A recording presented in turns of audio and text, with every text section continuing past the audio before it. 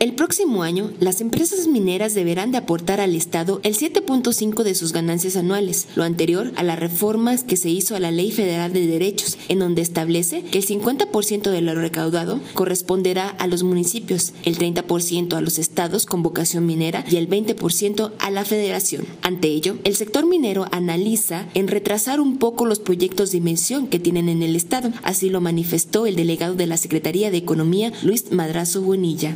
analizando, no es una situación este, fácil hacer cálculos, sobre todo también porque, eh, habría que decirlo, dependen mucho del precio de los metales, que son commodities internacionales, pues que no dependen ni de, factores más que de mercado muchas veces, y entonces pues están haciendo los análisis. Muchos de ellos nos pidieron ahí eh, pues tener ya algunas charlas en particular en los próximos eh, días antes de que cierre el año, muchos inclusive nos manifestaron van a, a viajar a sus corporativos a Canadá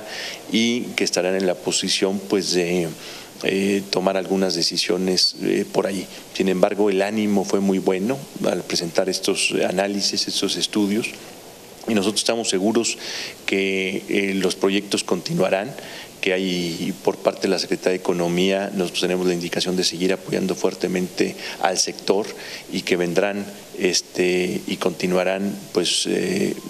buenas noticias en el sector minero, de manera particular para el 2014 en el estado de Durango. El Servicio Geológico Mexicano entregó al Estado un estudio en donde se indicaba que más de la mitad del territorio del Estado está en excelentes condiciones para la exploración, por lo que se busca potenciar esta aptitud en la entidad. El Instituto Nacional de Geografía e Información, INEGI, reportó que durante septiembre del 2013, Durango ocupó los primeros lugares de extracción de oro, plata, plomo y cobre. La mayor producción de oro se concentró en Sonora, que aportó el 28.7% del total nacional, Zacatecas con el 20.1%, Chihuahua con el 20%, Durango con el 9.7%, Guerrero con el 9.3% y San Luis Potosí con el 4%. La extracción y beneficio de la plata se realizó en cuatro estados, principalmente en Zacatecas, que contribuyó con el 44.2%, Chihuahua con el 17.3%, Durango con el 13% y Sonora con el 5.9%.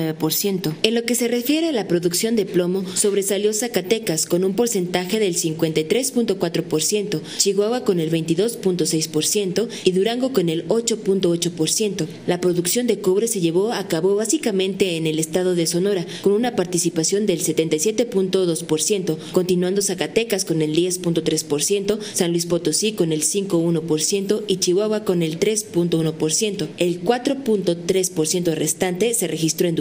Guerrero, Estado de México, Michoacán, Querétaro, Sinaloa, entre otras entidades. El sector minero en el estado es una de las actividades que más ganancias trae a la economía local. Es por ello la importancia de conservar la inversión y la exploración. Imágenes Roberto Cusín les informó Brenda García.